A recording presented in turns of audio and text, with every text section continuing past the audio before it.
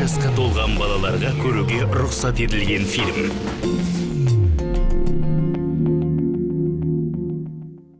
Бақытымның баянысың сен. Ақ жібегім аяулысың сен. Сағынамын алыс елде жүрсем де астанамдай арманымсың сен. Бәйтерегім биік арманым ардағым ай сені жалғыз таңдадым қуансам да мұңайсам да ақ қалам ғашығым ай аңсаймын сені о астана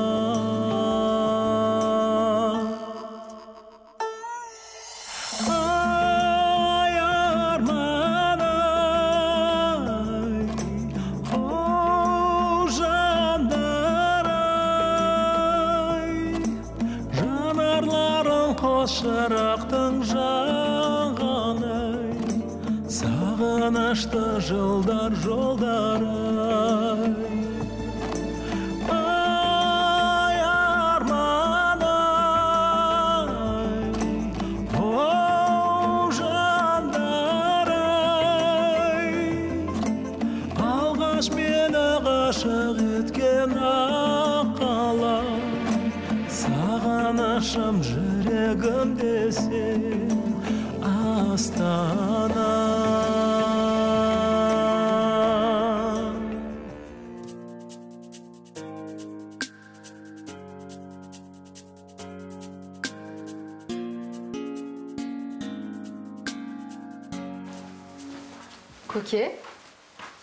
Еркін жүре берсеңіз.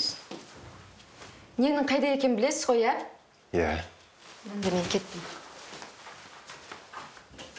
Қазір бармасам режиссер ашуланады. Ашуланбайтын режиссер бар ма не? Жоқ сияқты. Әйтеуір бәрі қияли болып келеді ғой. Енді олар біз сияқты емес қой. Суретшілер біздер ол. Қарапайым көңілді келеміз. Сізге қарасам ешқандай қарапайым көңілді адамды көріп тұрған жоқпын. Сонда мен не суретші емеспін бе? Оны айтпаймын ғой көке. Сіз өзіңіз қарапайым адам емессіз ғой. Соны айтамын жарайды қойыңызшы менің басымды қатырып жібердіңіз ғой. Сіз оданша теледидарды көріп жата тұрыңыз. Мен кеттім иә? Базаргүл мен мүмкін үйде болмайтын шығармын. Мен кілтім қайда? Маған берші.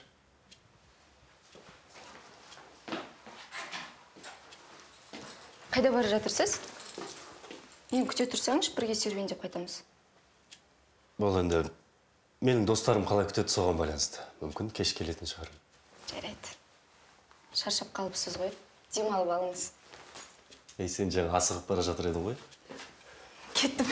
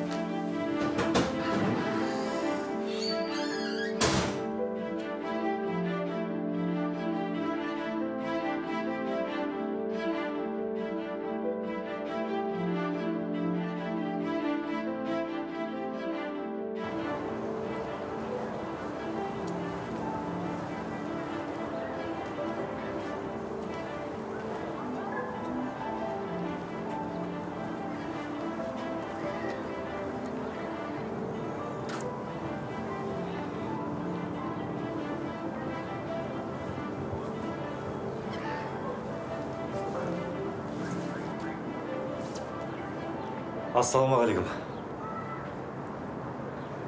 Иә келдім асадамын хабарласпай кеткеніз хабарласып тұрған жоқпын ба? Қалай енді? Кездесе аламыз а?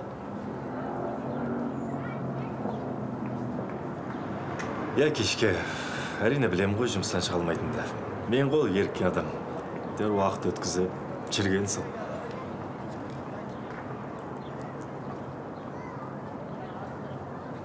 жарайды келістік кешке сағат нешеде жарайды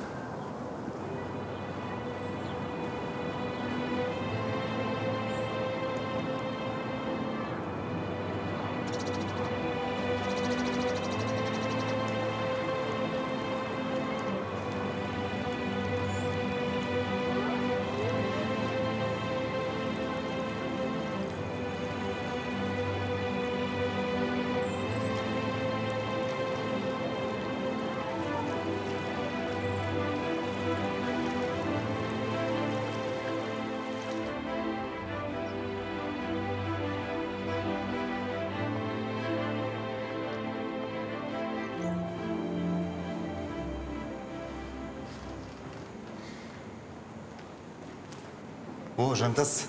Өз көзіме сене алмай тұрмын қалайсың бауырым? Жақсы. Еркен өзің қалайсың. Аман есенсің бе? Мәссаған біліп келдің ғой иә арнайы келдің ғой. Нені біліп келдің дейсің? Менің көрмем болатыныңды а жоқ. Білмедім. Бірақ шын жүректен қуаныштымын бауырым. Рахмет. Қарашы бүгін адам аз. Кеше адам көп болды. Адамның көптігілі соншалық бір бойжеткеннің тынысы тарылып мазасы қашты. Өзің ойлап қарашы. Әттең кеше келе алмадың. Бауырым сені көргеніме қатты қуаныштымын. Жүр. Одан да мен сені мықты өнертанушымен таныстырайын. Ол сені студент кезден таниды. Гүлнар ахметбекқызы таныс қойыңыз. Бұл менің досым жантас. Бұл да суретші. А бұл кісі кескіндемеден жетекші маман. Танысқаныма қуаныштымын жантас. Мен де. Ал сіз жантас қазір немен айналысып жүрсіз? Айтарлықтай ештеңе. Қалай сонда? Ештеңе салып жүрген жоқсың ба? Бұның жарамат досым. Бір жанбай тұрған шам секілдімін. Қош досым мұндайда әзілдеудің қажеті жоқ сияқты. Жантас әлі ақ мықты картинаңызды салатыныңызға сенімдімін. Рахмет. Жүр одан да екеуміз бір жерге барып тамақтанып қайтайық. Қалай қарайсың? Ренжіме бара алмаймын. Кешке ермекпен кездесемін деп айтып қойып едім. Ермекпен? Бір қалада тұрсақ та онымен жолықпағалы біраз болды. Мен де барайын қай жерде жолығасыңдар білмеймін. Қаланың тұрғын сендер сендер білесіңдер ғой. Кешке біліп жатсам міндетті түрде хабарласып айтамын жарай ма? Жарайды. Сені көргеніме қуаныштымын досым.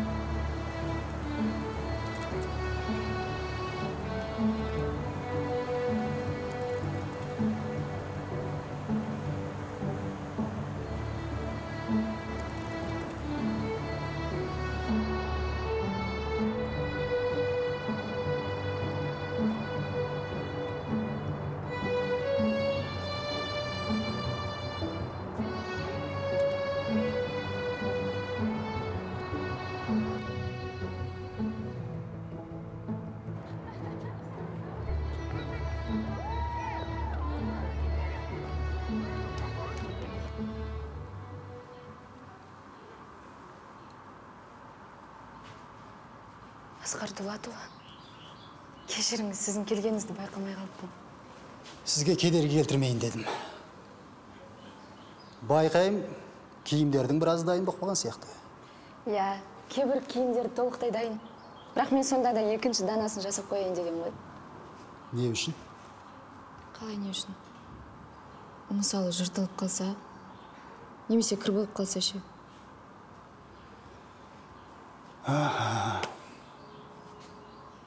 Басты кейіпкердің киімі ше шалдікін айтам. Шалдыкін әлі құрастырып жатырмын оған әлі образ таба алмай жатырмын көрдіңіз бе? Сізде басты кейіпкердің киімі дайын емес. Ал сіз болсаңыз қай қайдағы жұмыстармен айналысып жүрсіз. Бар киімнің екінші данасын тігіп. Бұларға не болады түк те болмайды бұл кино емес қой. Бұл альма матер бұл театр. Одан да барып ана шалдың образын ойласаңыз еді не үйреткен өзі сізге мен сізге барлық киімдерді бірден көрсетейін дегем көретін дәнеңесі де жоқ кереметтей ештеңе көріп тұрған жоқпын мен қазір алдымда тәжірибесі жоқ жас маманды мына жұмысқа алғаным үшін өкініп отырмын. Қойылымның уақыты аяп қалды бәрі күйіп тұр барыңыз жұмысыңызды жасаңыз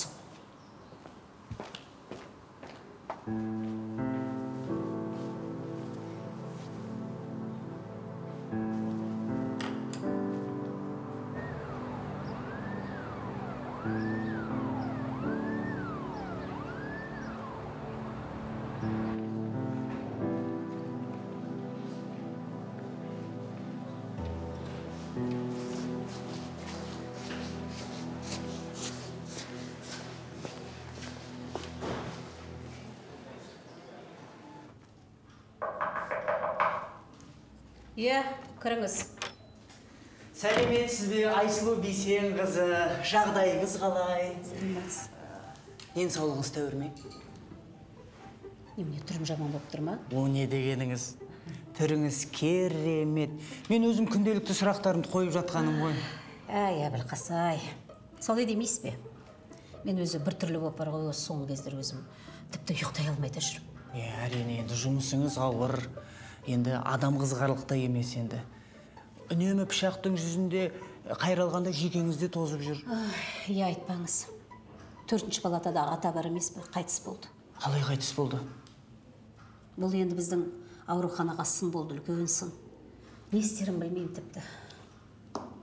Сіз осы маған бір жақсы жаңалықпен келдіңіз ау деймін иә қуанту дегеніңіз енді ә, әбестеу болып көрінер дегенмен бір мәселемен келіп отырмын. Айтыңыз тыңдайық біз германияға мрт аппаратын аламыз деп тапсырыс берген едік қой? Иә иә. Ең озық үлгідегі. Иә иә.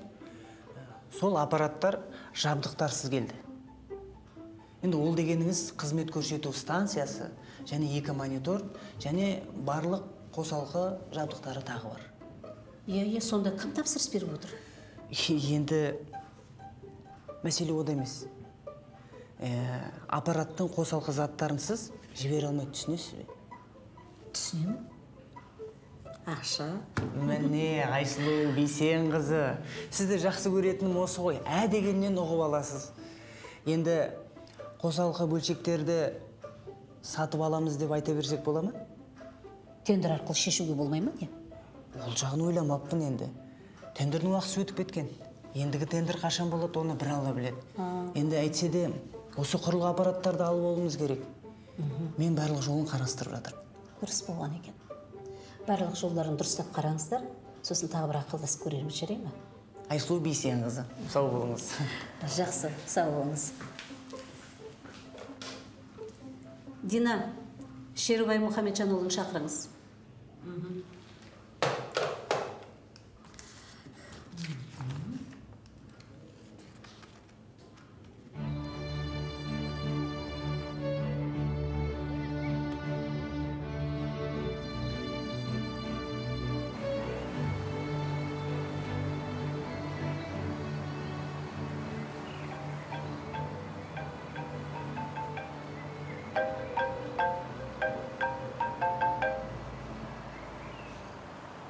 Алло? Иә тыңдап тұрмын.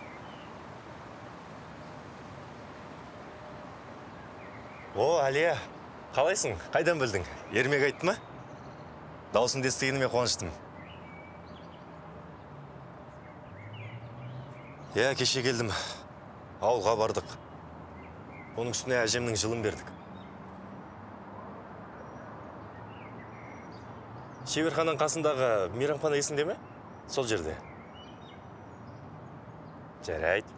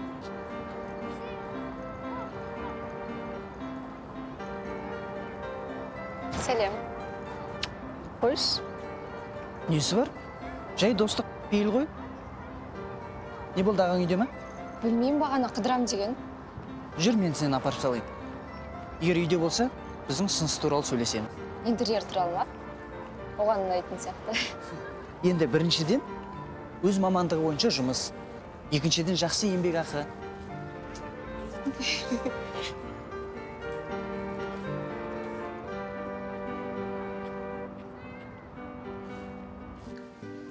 жантас.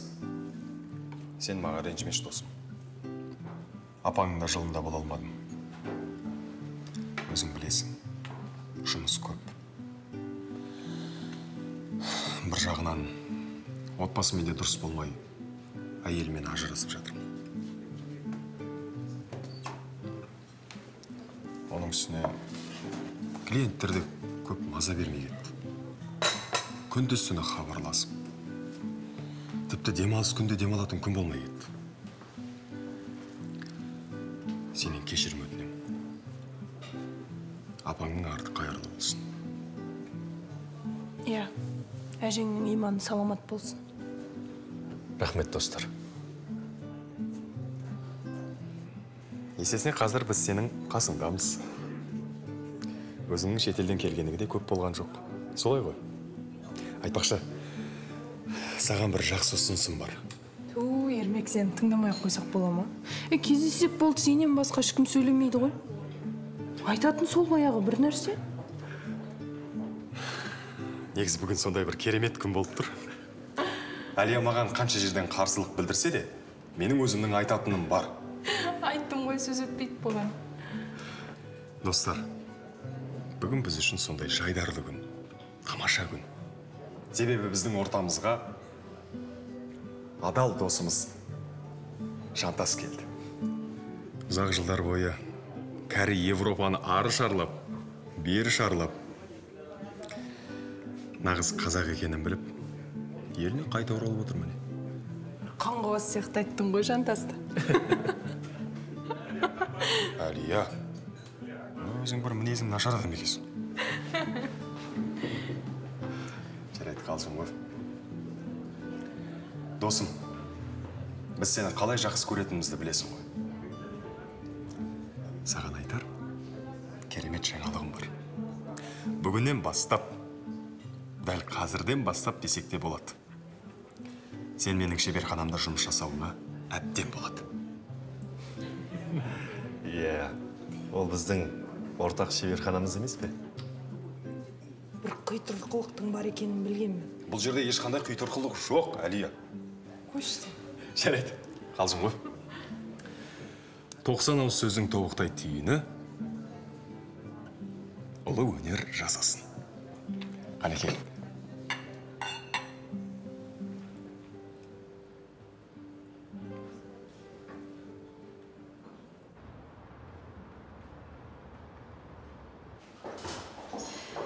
енді сіздің ойыңызша осының бәріне мен кінәлімін бе айсұлу бейсенқызы мүмкін жақсы көрсеткіштердің артын қоламай біреуге үлгі боламыз деп тырақшанбай ақ қою керек пе?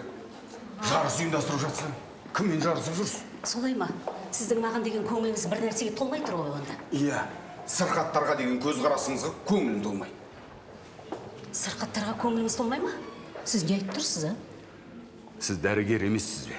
Неге оларға тауар секілді қарайсыз? Сіз есіңіз дұрыс па қайдағы тауарды айтып тұрсыз? Мен айтарымды айттым.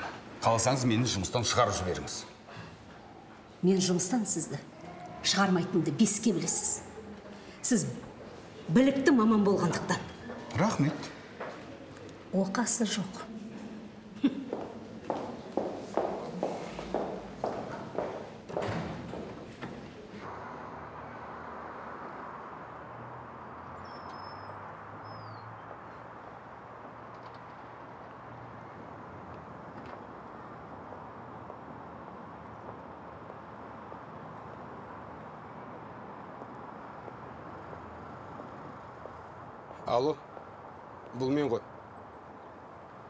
бүгін бір жерге барып кешкі ас ішеміз бе?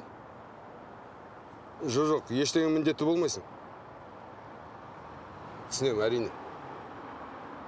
Жарайды. Онда мен қазір барам. мхм.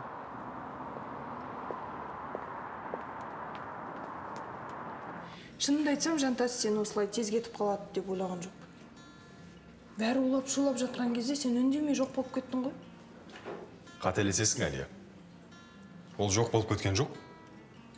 Ол дүрілдетіп кетті. Біз оның кетер аяғын жақсылап тұрып ресторанда. Атап өткен болатынбыз. Ей мен болған жоқпын ғой. Әрине сен болған жоқсың. Өйткені біз ол кезде алматыда болдық. Сен басқа қалада болдың. Әні?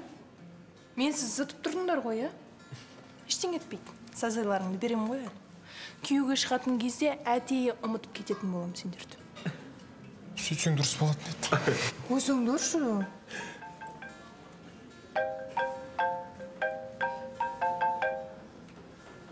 алло қайыркен иә біз осындамыз ғой ресторанда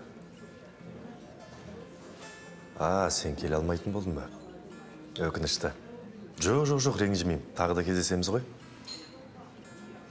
көрмеңнің ашылғанын құттықтаймын жақсы сау бол.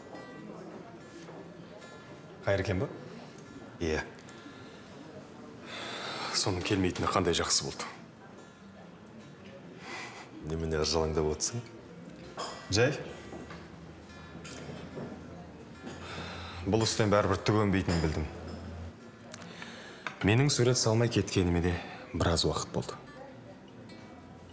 Неге? Неге олай істедің ермек? Біздің курстағы ең үздік осы еді ғой. Енді? Жарқ еттім де жоқ болдым деген осы. Енді сендерге баяғы ермек жоқ.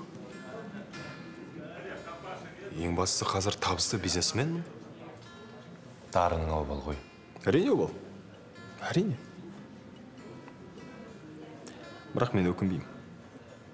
Ешкімге ренжімеймін да.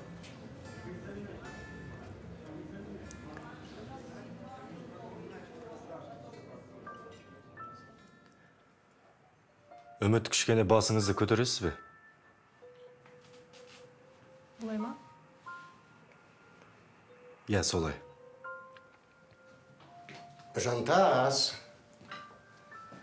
сіз натурашын қалай салмақшысыз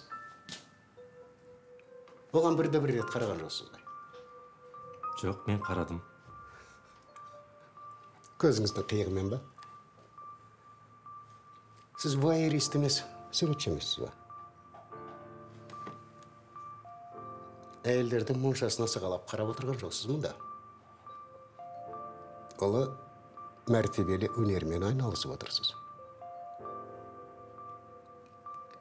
өмірдің өзі жасаған дүниенің көшірмесін жасап отырсыз егер оны толық түсінбесеңіз онда ешқашан да суретші бола алмайсыз ұқтыңыз ба иә ұқтым жарайды жұмыс істей беріңіз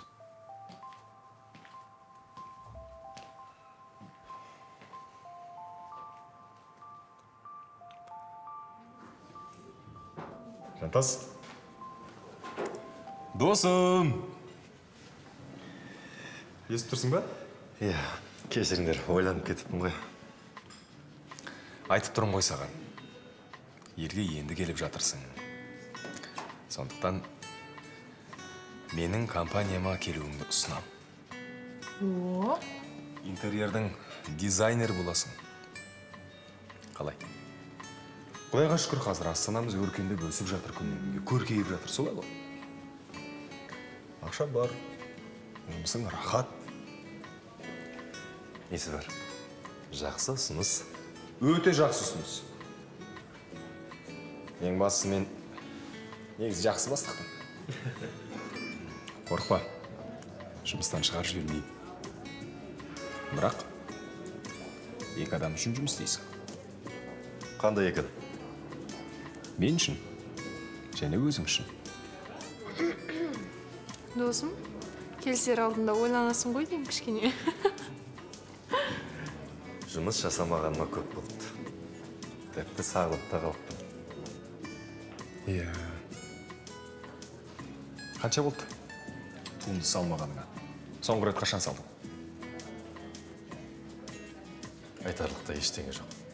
Муза жоқ. Есіңде ме? Үміт деген натурашы қыз туралы айтқан. Ол не болды? Иә есімде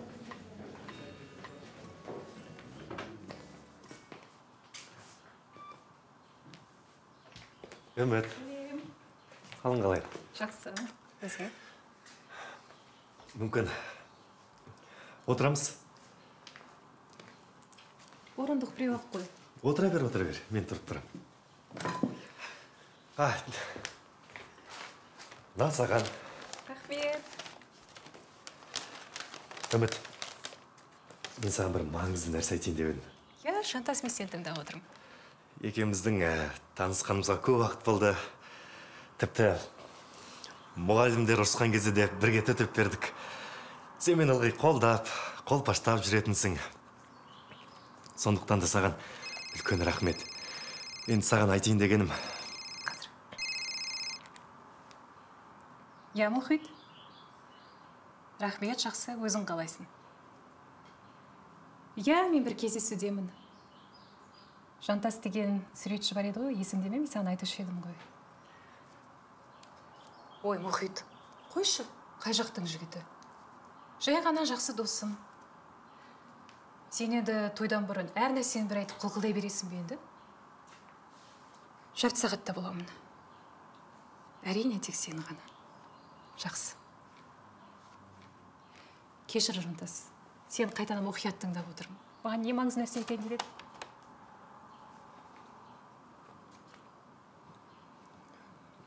жаңағы хабарласқан кім? А ол ма? Жігітім ғой мұхит. Сондай қызғаншақ өзі. Сен оған мән бермей ақ қой ылғи да сондай. Жігітің бар екенін білмеппін сен ешқашан сұраған да емес едің ғой. Иә. Мен сұраған жоқпын. Сонымен жаңа маған не айтайын дедің? А мен картинаны саттым міне жарты ақшасы сенікі керемет мен сен үшін қуаныштымын бұл сені мойындады деген сөз ғой жарайсың жантас сен болашақта ұлы суретші болатыныңа қазір ақ көзім жетіп тұр олай болса мен саған шынымды айта аламын ба иә әрине мен саған ә, натурашы болуға келіскен себебім ұзату тойымның көйлегіне ақша жинап жүр едім білесің ғой қазір жақсы көйлек арзан тұрмайды ғой. Ал енді мен өзіме керемет көйлекті тіктіртіп аламын бұл қуанышты хабарға мұхит та қуанатын болды ғой. Иә. Күйеу баланы қуанып қойсаң болады. Жантас. Сен жақсы жігітсің жантас. Сен әлі ақ өз бақытыңды жолықтырасың. Құсыңды қолыңа қондырасың сау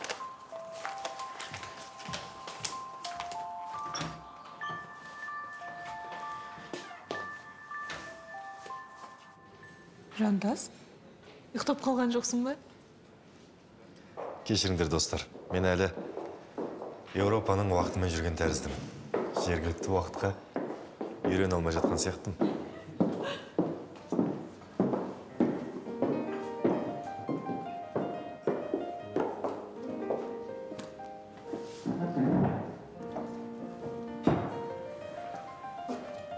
Ұлғысын мүмкін басқа жерге отырамыз а немесе мүлдем басқа жаққа барайық маған осы жер ұнайды тамақтары да дәмді жарайды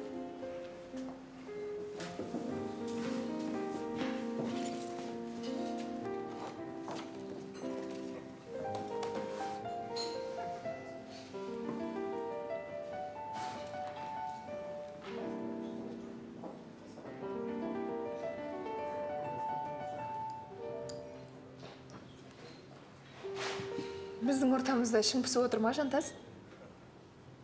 Жоға қайдағыны айтпашы.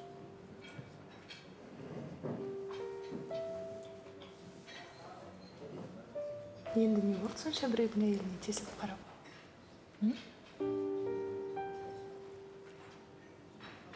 Қай жеріне қызықтың соншалықты білмеймін. Екеуінің жұптары маған қызық болып көрініп тұр. екеуің не айтып отырсыңдар? Білмеймін ғой. Жантасқа менің мұнда отырғаным ұнамай отыр ма? Жақтырмай тұр ма?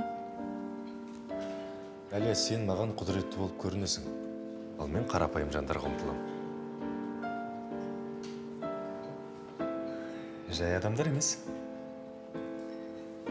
Жантас олар осыншама сені несімен қызықтырды?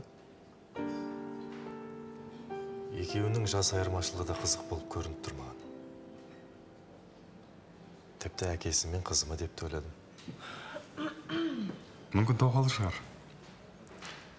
Өздерің білесіңдер қазір заманда. Еш нәрсеге таңғалмайтын болдық. Маған не болғанын білмеймін. Тіпті айтып та түсіндіре алмаймын. Шын айтамын. Бірақ көңілім сол жаққа ауытта тұрады. Қыздың көзқарасын айтсаңшы. Не болыпты көзқарасына кәдімгідей көзқарас қарапайым бойжеткен ондайлар қаптап жатыр. Сен мені түсінген жоқсың әлия. Мен оның сырт келбетін айтып тұрғаным жоқ. Ішкі жан дүниесін айтамын аурасы бөлек. Мүлдем ұға алмай отырмын. Қазір осылай жалғаса беретін болса менің ренжіп қалуым мүмкін. Не болды сонша әңгіме қылдыңдар ғой сол қызды араларыңда жалғыз ару отыр ау демейсіңдер. Әлия менің бүткіл назарым сенде ғой. Қойшы сенің әйелің бар ма? Енді бір аяғымыз бостандықта дегендей.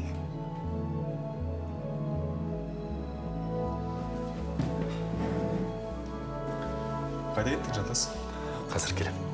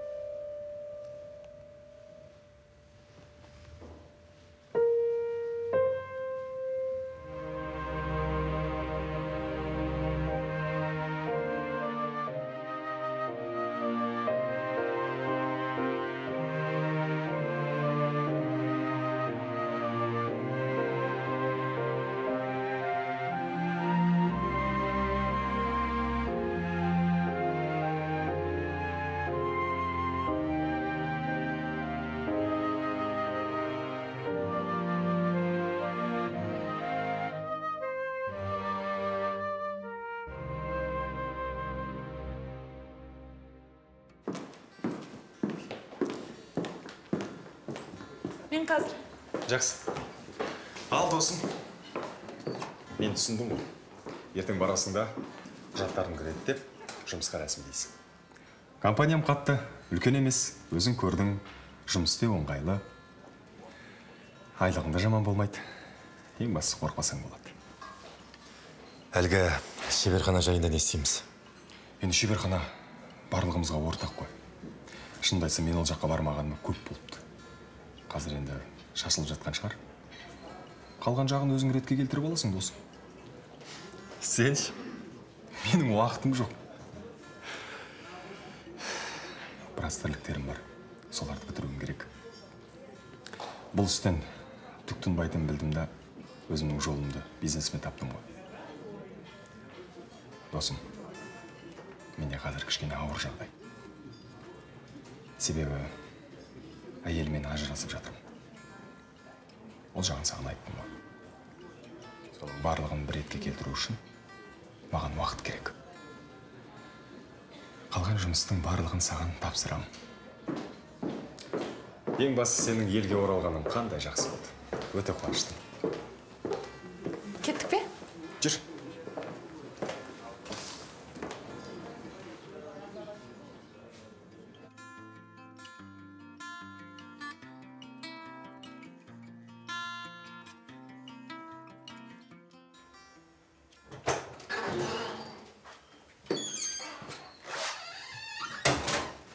Ассалаумағалейкум әбілқас сен мына істеп жүрсің? Мен сізді күтіп отырмын сол. Жантас сізге бір іскерлік ұсынысым бар. Бәрін ойластырып қойдым. Базаргүлмен де сөйлесіп қойдым. Былай болып тұр э, әбілқас мен қазір киімімді ауыстырып алайын. Шайдың үстіне әңгімелесейік. Жарай ма? Жарайды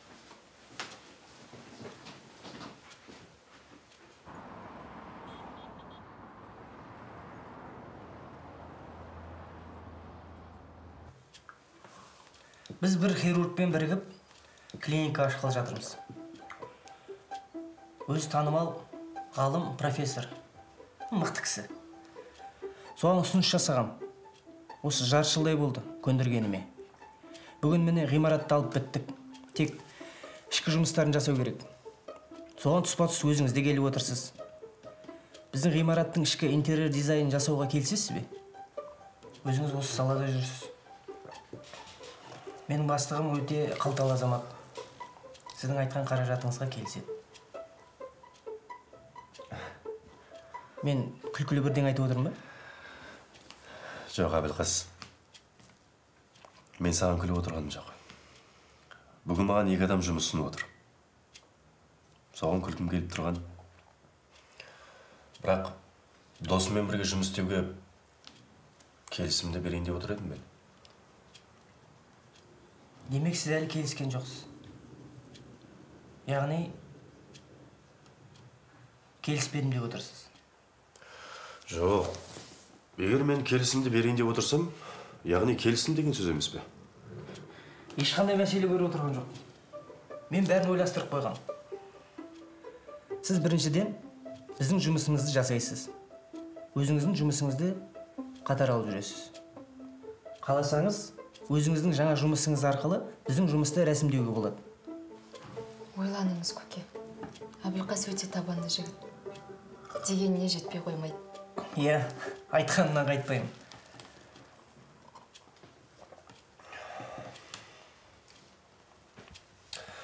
Былай істейік онда. Ертең екеуміз клиниканы барып көрейік. Сосын мен саған айтамын. Қазір енді кеш болып кетті. Жатып демалайық. Түсінікті. Мен қайттым онда. Сау болыңыз. Сау бол.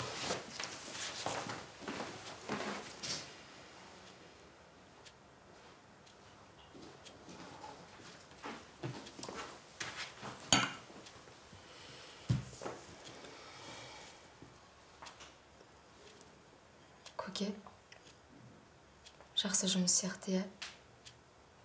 Өзіңіз ойлап қараңызшы. Бір жағынан шығармашылықпен айналысасыз екінші жағынан мол ақша табасыз. Енді базаргүл жаңа ғана айттым ғой. Ертең барып бірінші көрейін. Сосын кешкісін сөйлесеміз. Жарайды келістік. Онда сіз барып ұйықтай беріңіз.